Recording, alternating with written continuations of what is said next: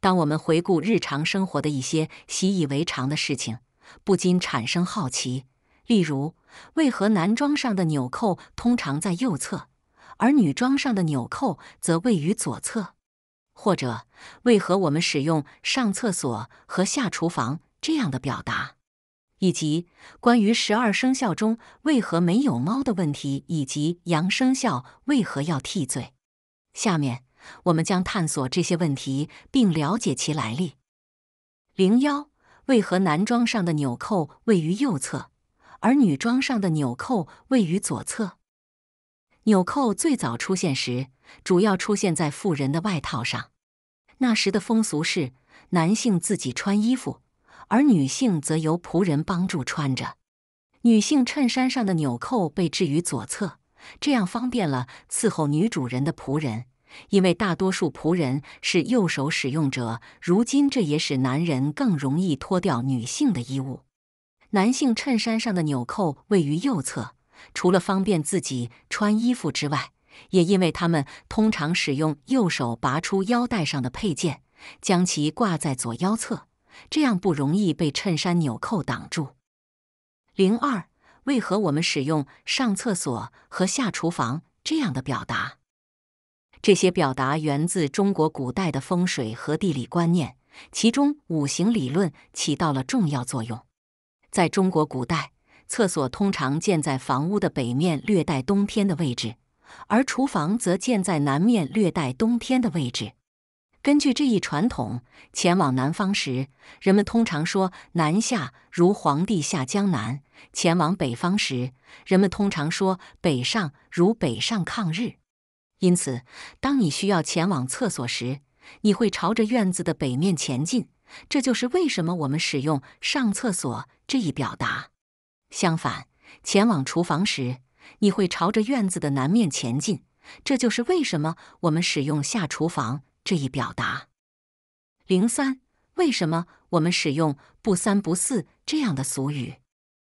古人将天地分别称为一和二，因此天地相加等于三，三代表整体，因此在一些表达中。我们常使用“三”来表示完整性或美好，例如“三部曲”“三省”“三思”“三人行”等等；而“四”则代表周全、圆满、称心如意。因此，在一些表达中，我们使用“四”来表示美好，如“四大金刚”“四大家”“四体”“四义”“四书”等等。因此，“不三不四”这一俗语用来指代那些不属于美好事物或行为不端的人。零四，为何佛家弟子的姓氏通常是氏？氏姓是汉传佛教出家人通常使用的姓氏，它并未包含在百家姓中。在中国，出家人通常以氏作为姓氏，这一传统始于道安禅师。在佛教初期。魏晋时期的沙门出家僧侣通常使用他们的师傅的姓氏作为自己的姓氏，因此他们的姓氏各不相同。然而，道安认为根本的道师是释迦牟尼佛，因此他提出以是命氏的概念。后来，他翻译了《增益阿含经》，其中提到四海出家同称世事，这进一步巩固了是作为佛家弟子的姓氏。零五，为何十二生肖中没有猫？关于为何十二生肖中没有猫，有民间神话传说薯片猫的解释，但实际的原因是因为古代中国没有猫。猫原产于埃及，而中国不清楚何时引进猫。虽然民间传说中提到唐三藏从印度带回了猫，实际上是汉代，不是唐代。但在猫引入中国之前，十二生肖已经被确定了。此外，十二生肖中已经包括老虎，它代表了大型猫科动物，因此没有必要再添加小猫。零六，为什么要称呼回复的姓氏为免贵？在夏商周时期，姓氏被分为两个部分：男性使用是作为姓，而女性使用姓作为姓。古代文化认为是用于区分婚姻关系，同姓的人不能通婚，而同氏的人可以。然而，秦始皇统一中国后，将氏和姓合并为一个姓氏，但仍然保留了氏作为贵族的姓氏。因此，人们通常会问贵姓，以了解对方的姓氏。只有当有人问贵姓时，对方才会回答免贵姓某某。当然，如果你的姓氏是张或孔，就不需要回答免贵。因为这些姓氏通常与贵族或圣人有关。零七，为什么没有诺贝尔数学奖？阿尔弗雷德·诺贝尔的遗嘱提到，诺贝尔奖应该奖励那些在物理学、化学、医学、文学和和平等领域做出重大贡献的人，但没有提到数学。这可能是因为诺贝尔的个人偏好和与某位女士的情感经历有关。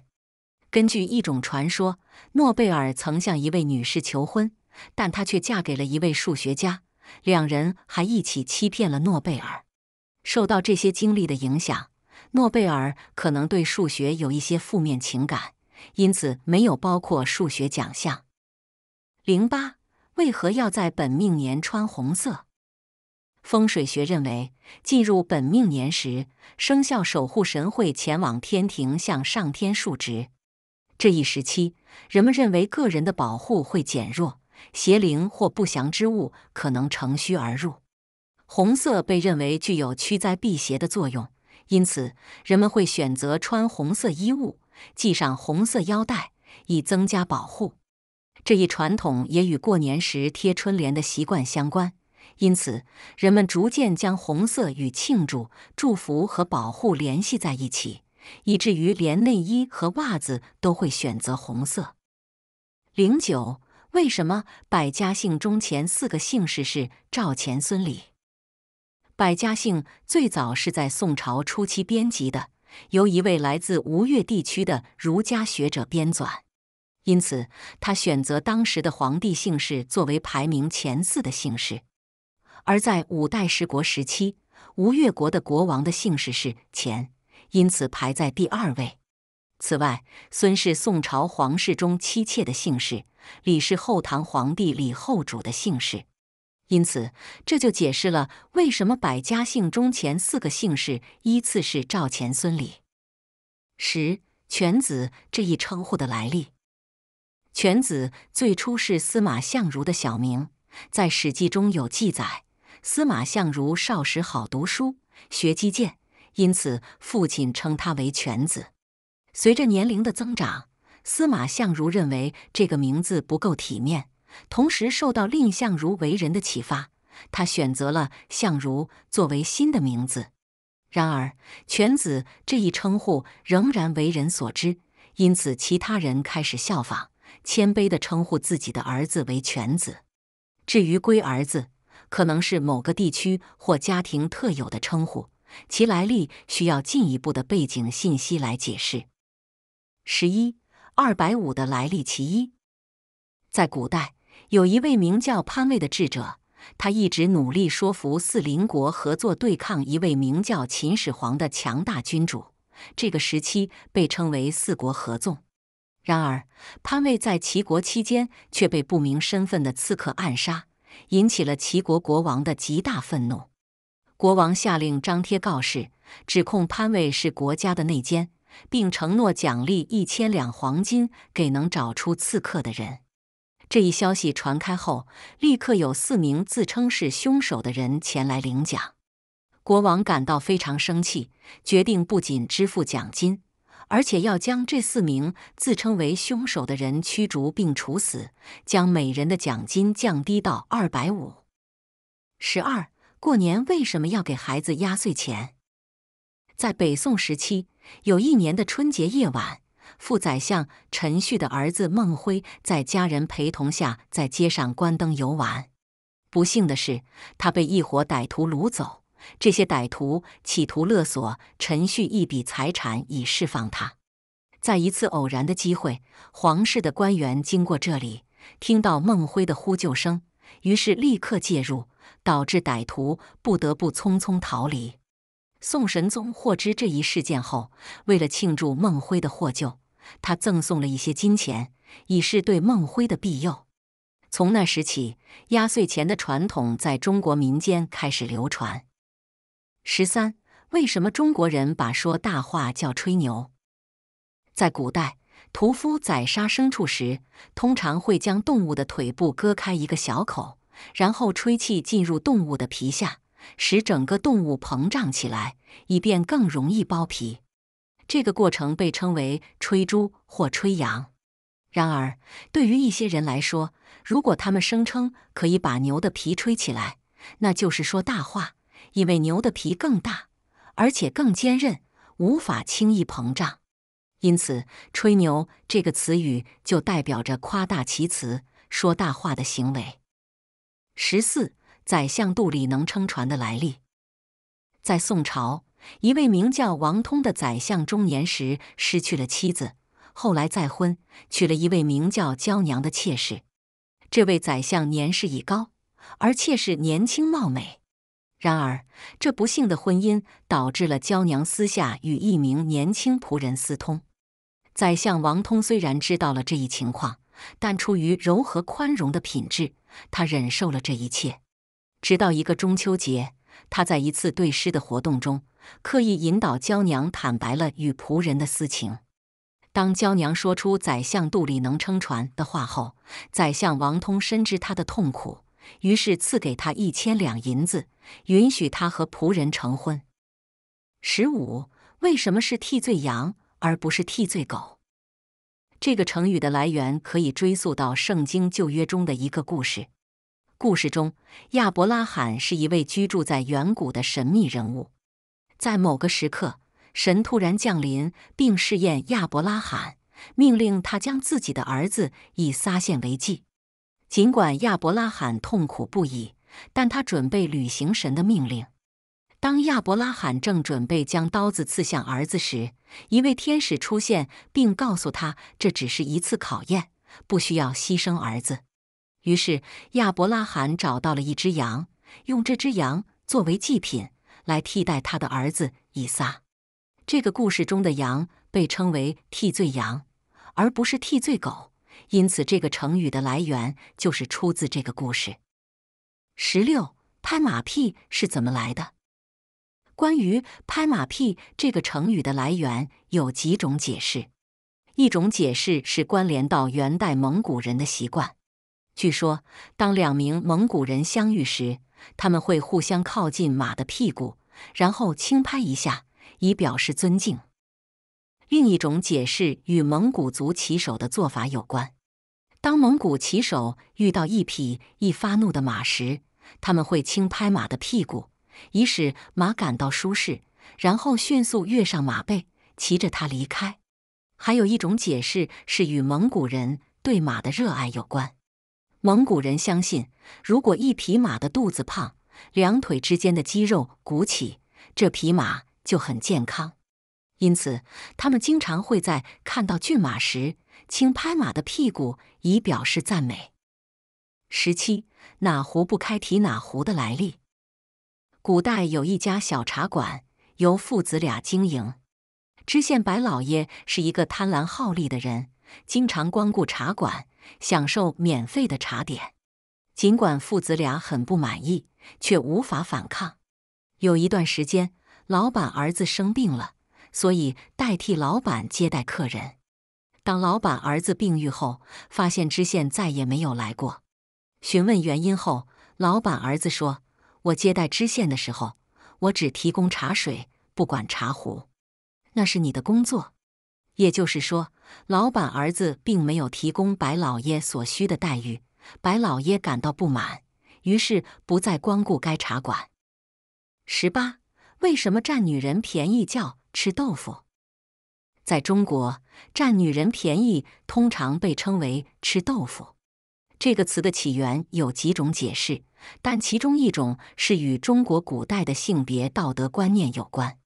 在过去，妇女的纯洁和贞洁受到极大重视，而男性被期望对妇女保持尊重和自制。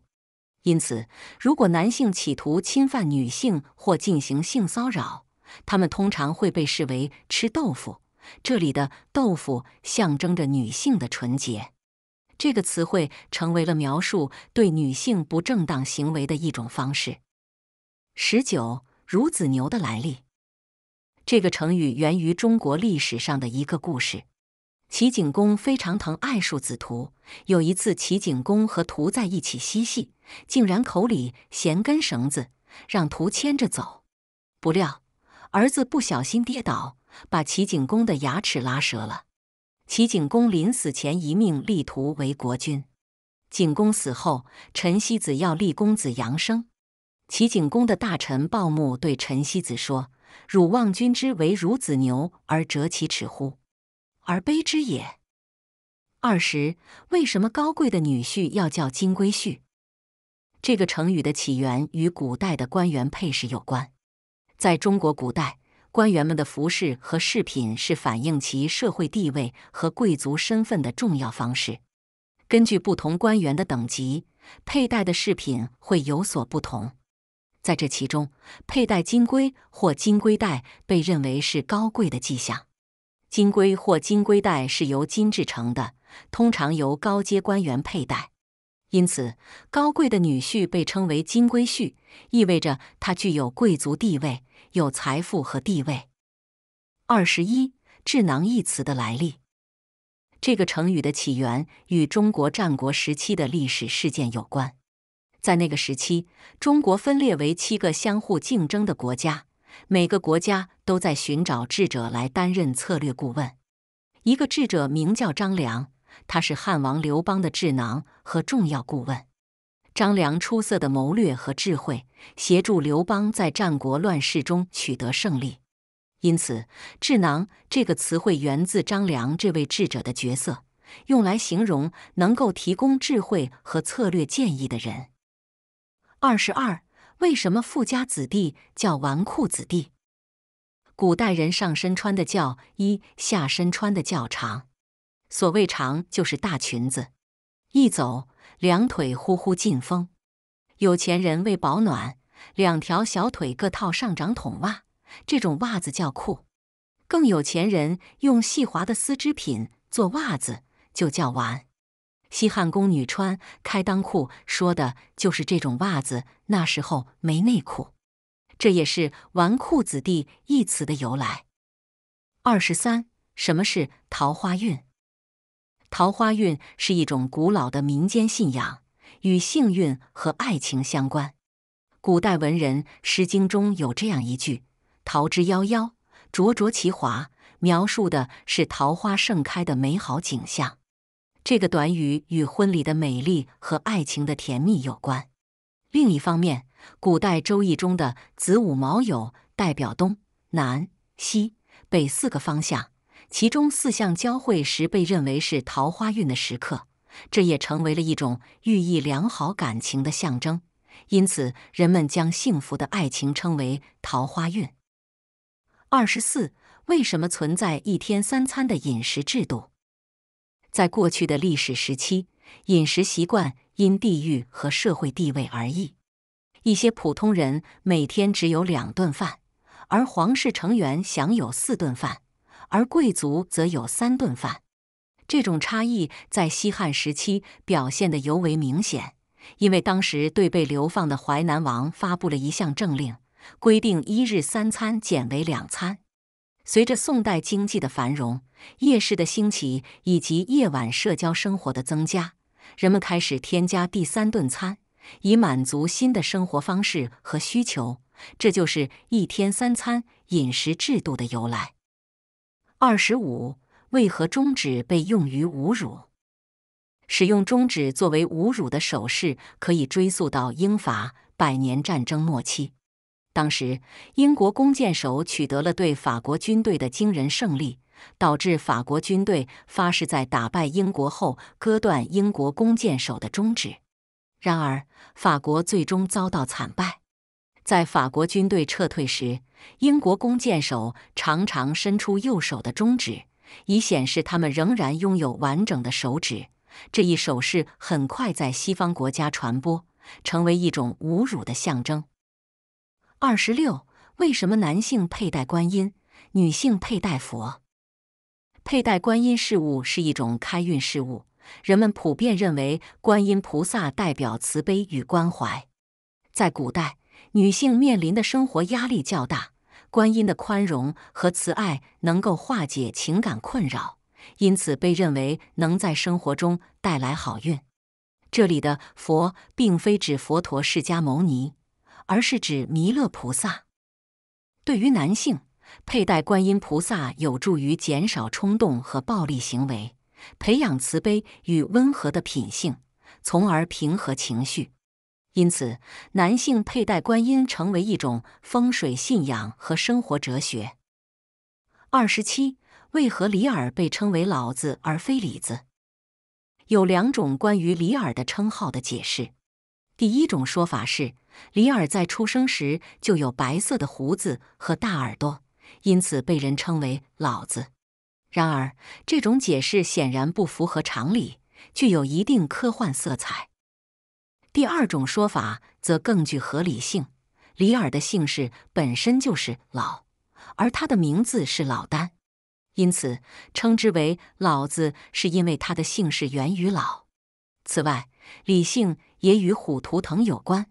而在某些地区，虎被称为李耳，因此李耳只是对李耳的误解。